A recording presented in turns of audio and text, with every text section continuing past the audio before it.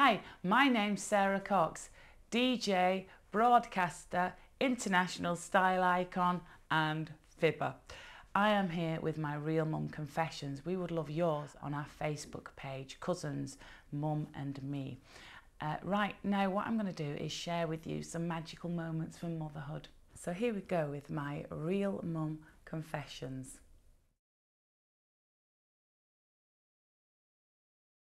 It's okay to tell fibs to your children. I nearly said lies then. It's not good to encourage lying, but I definitely think that big fat fibs are okay. Uh, an example is um, we can't go to the cinema because the screen is being washed. Or we can't go to the cinema because they don't open it on a Wednesday. I know, it's silly. We can't go to the soft play centre because they're cleaning it and part of it broke and we're not allowed to go today and I'm as equally disappointed as you. That one's a good one.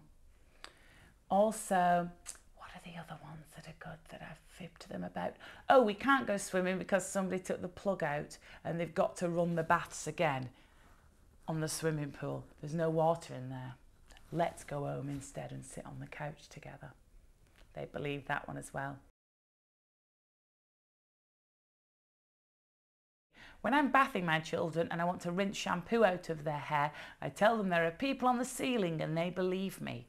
Used to work on me when I was just a young sproglet back in Bolton 25 years ago. So with my children, I say to them, look, like depending on what film we've watched that day, look, there's Shrek on the ceiling with Donkey and Princess Fiona. And they always look up. And when they look up, boosh, I'm over with the water and rinse their hair.